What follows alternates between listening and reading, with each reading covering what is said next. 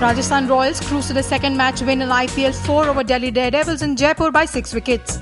It was a perfect beginning for Rajasthan, who got the dangerous Sehwag out in the very first over for a score of 4 runs. Sehwag was dismissed by the Australian pacer Shaun Tait. Sehwag, who had earlier won the toss and elected to bat first, a decision could be termed wrong by many, as at one stage the Daredevils were tottering at 36 for 4. David Warner and Venugopal Rao took the centre stage and scored impressive half centuries to give the Delhi Daredevils scoreboard some respectability. The 83 run partnership between the two saved Delhi from being further humiliated. It was until the 15th over that the Delhi innings got some momentum. Rajasthan continued the splendid form as they did in the first half of the match as they cruised to the total in 19th over itself. Johan Botha top scored for the Royals with 39 runs.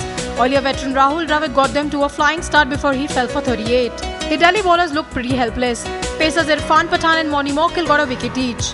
Captain Shane Warne's impressive leadership and his 2 for 17 earned him the man of the match. Two matches, two wins, and the Rajasthan Royals will want to continue the win run. They next take on the Kolkata Knight Riders in Jaipur on the 15th of April. On the other hand, there will be a lot of thinking for Sehwag and company to do in the Delhi unit. They are next pitted against Sahara Pune Warrior on the 17th of April at Navi Mumbai's DY Patil Stadium. IANS Report, Jaipur.